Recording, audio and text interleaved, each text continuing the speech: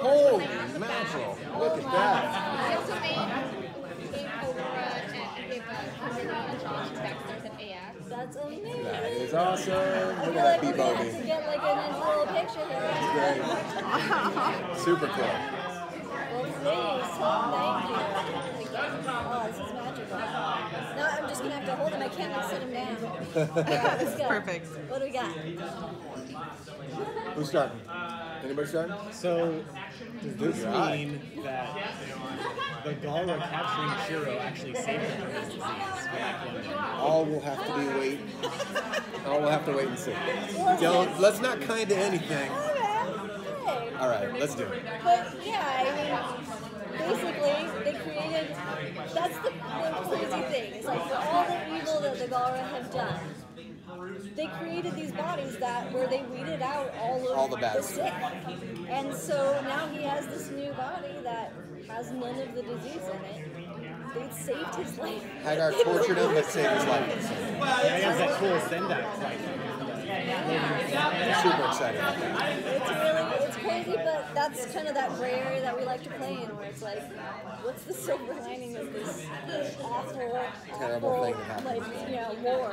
Yeah. And what's it like as storytellers to tell something that's different rather than, you know, a standard sci-fi fantasy where it's fine or it's not? It's, it's amazing. Like, it's incredible because obviously you love to have depth in your stories. But the downside is then you get into like these areas where you know, everyone has a very different opinion of like what's triggering and what's problematic, and so then you have like uproars, and you just you want people to just appreciate that it's a story with, with depth, and hopefully they can all enjoy it together. I think that's the thing. Like, we're friends, there are times when I absolutely drive Lauren nuts, and vice versa. So there's there's there's a gray area there, right? Um, and I think that should be sort of explored within our characters. All the bad guys aren't necessarily all bad. and All the good guys maybe aren't necessarily all good. You know? It makes, I mean, I think it makes for a better story to have some moral ambiguity Right in everyone. Talk a little bit about the announcement at the panel, obviously, of Shiro having a significant other of Adam? And I mean, I'm looking at my personal Twitter, and I have, you know, my queer friends who are like, we're in tears over it. I mean, this means so much to them. Can you talk about kind of the process of, of making that? Yeah, I think uh, it was always like for me it was exciting the idea of having this character who had been so much to so many people, and none of that was kind of based on his, his sexual orientation. And then to just to reveal that he is a gay man, and that in no way changes his relationships with his people, anything that he's done, and you know, sometimes I think it's amazing to have the stories where you know, the characters finding themselves, but then it's also incredibly important to have the stories where this character is fully formed, and he's a gay man, and he's doing amazing things, um, and he's flawed, and he has you know his own problems. So that was to me was the, the, the why I love the idea of having Shiro being our representation. And I think also just the way the story was handled. You don't. It's not a big like oh aha moment. You know, it is for the audience because maybe a huge portion of the audience has been waiting to hear. But I think he's in the middle of a relationship. He's in the middle of working it out. He's in the middle of choosing his job over his relationship. He's got very real world kind of problems that you just come in the middle of. Um, but on a completely superficial level, we were incredibly excited. Uh, and the reaction was amazing. And I mean, I, you know, we all got emotional. You can't hear us talking when we're backing away from the mic, but we were just like, guys, we want to cry. So yeah, it was really important to everybody on the group.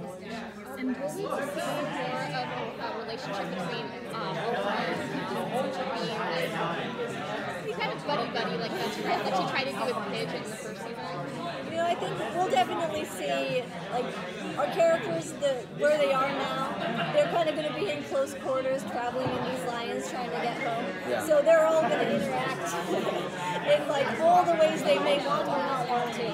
So uh, yeah, I think you can definitely look forward to seeing a Will and Mona having having some fun interaction. Um, as the story sort of shifts back to Earth and everybody kind of goes back there, are we going to see more of the garrison? Yes, we will. Um, the little teaser that we showed, you saw a bunch of Garrison stuff. So I will say that you know, it's all about getting to Earth. That's a huge. That's a huge journey on its own. And then when they get to Earth, there's a ton of business to be had. So I think all the character sort of interaction stuff and the roadshow stuff is really important and prominent up front, but things get pretty serious on the back nine. But you'll see plenty of Garrison. I love orange, so if that at all says anything, we'll be seeing plenty of orange. Obviously, the the next season looks pretty pretty heavy. Um, I mean, last season was kind of heavy too. But are there still gonna be some moments of levity and trying to work that comedy in there as well? Yeah. Always. Yeah, we, it's just something that we've always strove to never get too dark. Like there are times when it gets dark and it gets serious and it can go for a few episodes, but we always try to have fun with the characters. Just by the very nature that Voltron is, you know, five colorful lions that form a large robot guy. Like they- it's ridiculous. we can't take it too seriously. Yeah. So, uh, so we, we never want to get rid of the fun. So you can definitely expect to see at least one ridiculous D and D level episode. And all the, you know, it'll be peppered throughout. Yeah, you'll see plenty of stuff. So the show, I, I am from Argentina, and the show got really popular. Um, what do you think uh, the show has that can connect with the worldwide viewers? I think it's got a voice that talks to a wide range of ages, a wide range of people. It's just, I think the show is ultimately all about acceptance. So hopefully that translates from the viewers to the show and vice versa. Yeah, I also think that so much of the show has been set like in space, which is just kind of a neutral territory. It's not like one specific country, one specific area on Earth. Or a, P- a POV from Yeah. one specific. Yeah. So it's like it's really anyone could put themselves in shoes. And we got really good cow humor, which translates to every country. Anyone who has cows Yeah, it's a big, that's a big one. Down with cows. Mice. Mice, mice humor is a big one too. More. Ask your Bogus on Spanish. Um, when you guys finally go to Earth, will we get to see Lauren Grant be completely clueless about the culture, like the golden cow? Cow. I think that's half the fun. Yeah. They're now Now strangers you're in a strange it. land. But, uh, but yeah, I think we can we can definitely look forward to seeing they, they're feeling different shoes. It's it's been very much they know the layout of the land, and our Earthling guys have been very kind of like learning everything new, and now that's going to be kind of turned on its head. But we can say it's gonna be all business. Things will shift, like tones will shift. Yeah. All right, you guys. Yeah.